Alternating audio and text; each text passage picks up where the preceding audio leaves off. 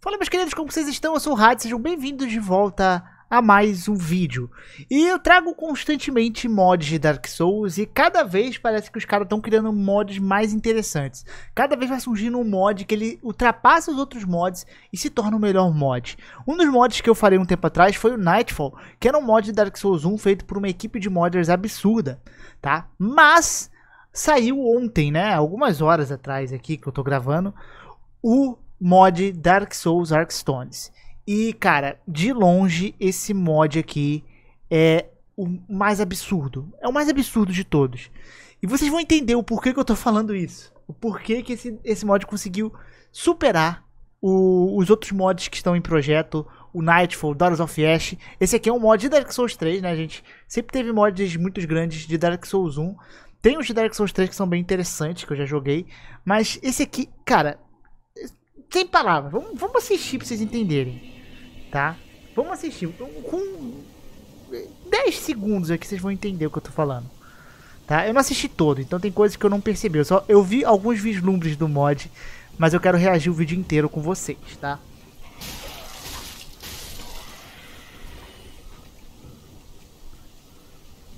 Por essa parte aí, já, já, acho que por essa parte já dá pra gente entender o porquê que esse mod é absurdo. Você sabe onde a gente tá aqui? Eu não sei também onde a gente tá aqui. Isso porque o mod ele cria mapas totalmente novos. Totalmente novos. Claro, tem área ou outra que você vai identificar. Você vai falar, pô, ah, isso aqui é um, um pedaço, ele pegaram um pedaço de tal área. Ainda mais se você for um cara que jogou bastante. Aqui, por exemplo, ele parece muito aquela área ali debaixo do, do telhado de, de Lothric do começo do jogo. Mas ainda assim, são áreas totalmente novas. Formas de navegar novas. Isso me deixou abismado. Porque até então, todos os mods que a gente tem, ou teve, aqui ó, aquela área aqui, é uma área que parece aquela prisão do que a gente encontra o Great, por exemplo. Mas ela tá diferente ainda.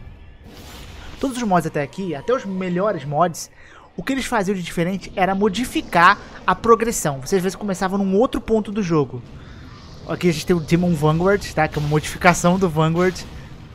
Ficou muito boa essa modificação, inclusive. É um chefe tutorial, essa área é um tutorial, tá? Enfim, continuando. Os outros mods, até o Nightfall, que é muito bom, você começa no final, porque ele começa depois do jogo, né? Então tu começa no final e tu avança em caminhos diferentes. Você faz uma rota diferente. Mas é sempre os mesmos mapas. E aqui não. Aqui ele dá uma vibe de um novo Dark Souls. Isso, isso, isso que me pegou. Dá uma vibe de um novo Dark Souls tá? Os chefes são novos, os inimigos muitos são iguais, mas os chefes são novos, tá? Muitos são modificações, né? Esse aqui a gente tem a modificação do Vanguard, mas o mapa, o mapa é o especial, tá? E aqui eu acho que eles fizeram algo parecido, que você falece, você vai pro Nexus, né? Pra, pra Firelink. Olha, e olha aqui como é que é Firelink, né? Que é chamado de Nexus aqui. Eu fiquei, eu fiquei muito empolgado, cara. Eu quero muito ver. Não tem previsão ainda. Eu vou deixar o Patreon aí se vocês quiserem ajudar o projeto, tá? E eu, eu quero muito testar isso aqui. Eu vou apoiar os caras no Patreon, inclusive, pra ver se tem alguma build que já possa jogar. Ou quando tiver, eu trazer aqui no canal. Porque geralmente quem apoia tem, né, antes. Se liga, papai. Nexus of Embers. Tem até dublagem. Welcome to the Nexus. Você, pega, você pegar... Tem dublagem, tá? Essa daí é, é uma pessoa que eles contrataram pra fazer dublagem. Essa área, ela é bem semelhante, sim, com a Firelink que a gente tem. Só que muito modificada. Dá... Dá uma, tipo, uma vibe muito diferente, né? E aqui, pelo que eu vi, a gente vai navegar em áreas dos Dark Souls antigos refeitas do Dark Souls 3, tá? Eu quero ver se vocês reconhecem esta área aí. Esse, trechinho inicial, para quem já joga, reconhece já pra onde a gente tá indo, tá? muito massa, muito legal, muito legal. Uma área, por exemplo, que não existe no Dark Souls 3. Ruins of Blue. E aí, reconheceram essa área? Deixa ele avançar mais um pouquinho que vocês vão ver.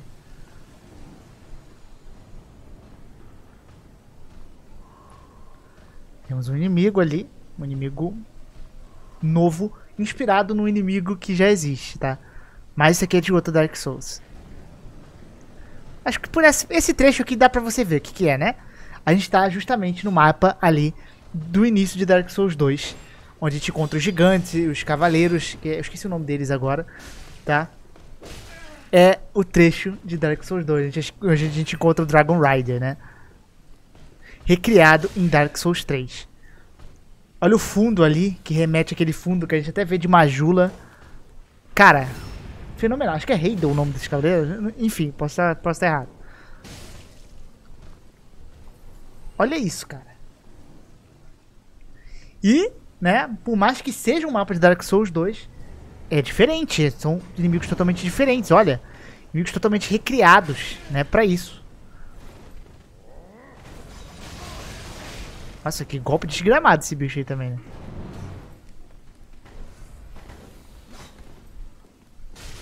Cara, não é, não é, não é um feeling que você tá jogando um, um sei lá, a FromSoft anunciou um Dark Souls 4, não dá esse feeling com bastante fanservicezinho de você voltar em áreas antigas? Isso aqui é feito por fãs, cara. E isso aqui me dá esperança pelo futuro dos mods de Dark Souls. Principalmente Dark Souls 3, que é o mais atual e dá pra fazer coisas mais interessantes, talvez. Não só como isso, como talvez, sei lá, os caras, os fãs que quiser criar uma ilha nova em Elder Ring. Já que é a mesma end, mano, daqui pra frente é só sucesso. E o inimigo parece boss, cara. Difícil, né? Derruba ele.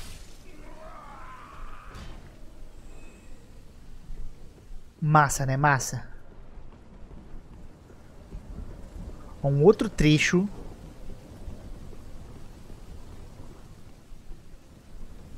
bonito. Olha a torre ele pegando. Cara, os caras fizeram um negócio com carinho que eu vou te contar, maluco.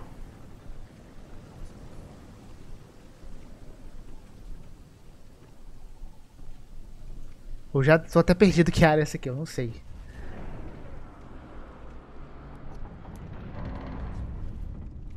Olha isso, cara. Os bichos no chão. As estátuas. Disgraced Knight. Isso me parece uma arena de Elder Ring um boss totalmente novo.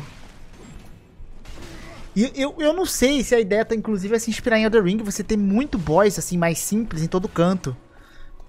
O que seria legal demais. As estátuas, a música, não sei se vocês estão conseguindo ouvir. Que eu geralmente abaixo um pouco para vocês conseguirem me ouvir também. Mas é uma música que me aparenta ser diferente. Ele joga um negocinho, inclusive, pra você não conseguir se curar, muito bom.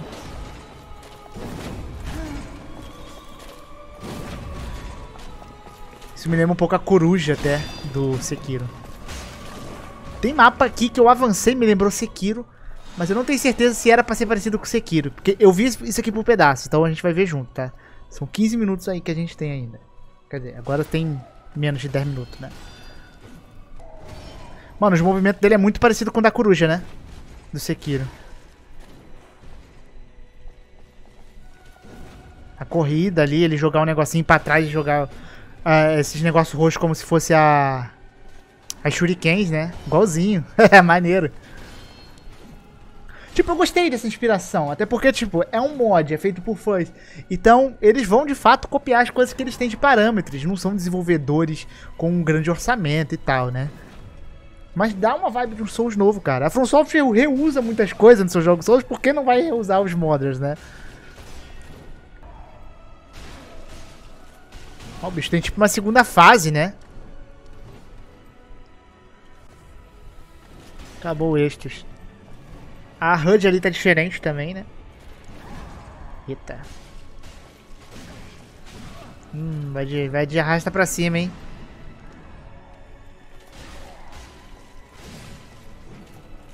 Boss bem difícil, tá? Beleza, vamos ver. Vamos ver, tem mais área ali que ele mostra. Ele renasceu no Nexus, né?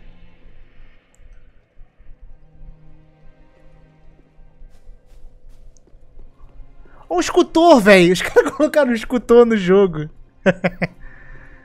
Pô, espero que modifiquem o visual dele. Eu sei que eles estão tentando interligar os universos, né?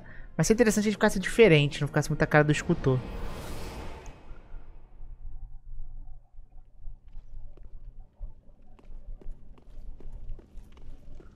Essa área aqui que eu acho que parecia ser Sekiro.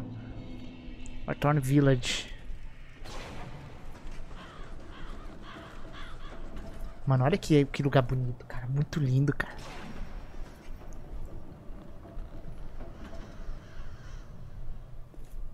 Muito lindo, muito lindo.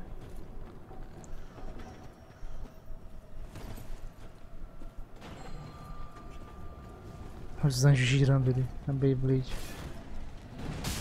Essa área é meio inspirada nos assentamentos, né? Usa os assets de assentamentos mortos-vivos, mas a estrutura do mapa é totalmente diferente, aparentemente. Essa área ali... Ó, um inimigo novo. É aquela área ali que tem a bruxa e tal.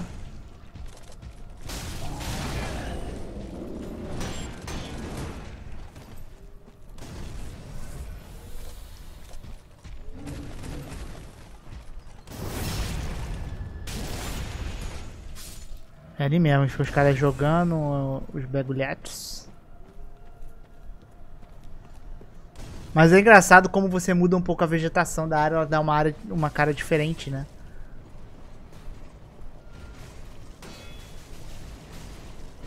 Tipo, só se você olhar os três você vê que é um assentamento, mas pra eles modificarem tanto não parece um assentamento. Mano, acho que eles estão imitando a área da monja, não parece a área da monja? Ali tem mais um boss. Me pareceu muito a área do Sekiro, né? Se, se for outra área esse que eu tô esquecendo, vocês me avisem. Olha, pegou um, transformou um monstro, usou as asas dos aqueles anjos lá. E ficou interessante o design do boss, né? Tipo, um tipo de boss que a Software fazia. Tranquilo, né? Da, eh, você veria, era algo que, porra, dá pra ver no jogo da Software isso.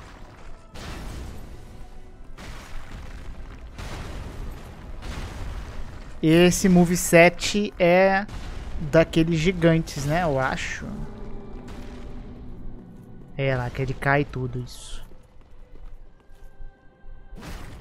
Pô, aí não, amigo. Coitado do cara. E a música tá bem legal. Olha, usa o poder de anjo também, né? Esse golpezinho aí, igual o do bicho é chato, né? Mas tá muito interessante a forma que eles modificaram os inimigos. O moveset tá bem diferente, né? Você vê que ele pega de vários inimigos, mas dá um ar. Misturar vários inimigos torna o, o cara único. Querendo ou não. Nossa. Nossa, errou, errou!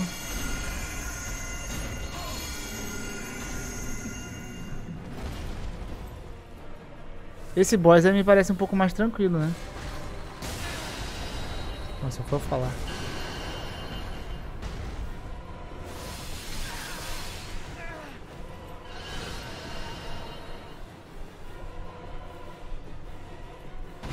Ou é o Yorm o moveset? Não sei. Esse pisão aí que... Acho que esse aí ele vai derrotar, né? Que ele morreu pra todos os boys, literalmente.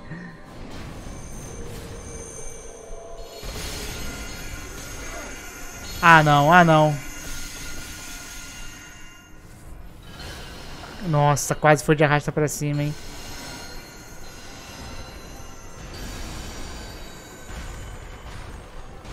Putz, eu tô agoniado com essa espadinha dele que não acerta direito.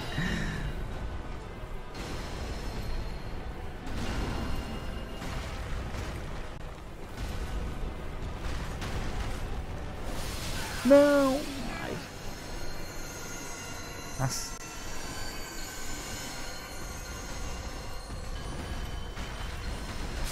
Mano, se ele toma um golpe, ele morre pra esse boss com a última vida. Core do Guardião. Olha, essa parede ali é do Vordit, né? Cara. Absurdo, galera. Absurdo. Não tem como, né? Vocês viram, né? Vocês viram o negócio, como é que tá. Muito animado pra esse mod. Eu acho que ele não tem data nem nada. Tá? Se tiver, eu vou colocar aqui embaixo na tela.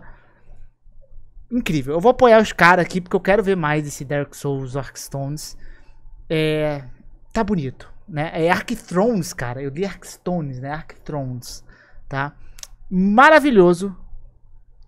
fenomenal. Só tenho isso. Tenho palavras. É isso. Fico por aqui. Um beijo, um abraço. Beijo, popô. Até a próxima. E tchau.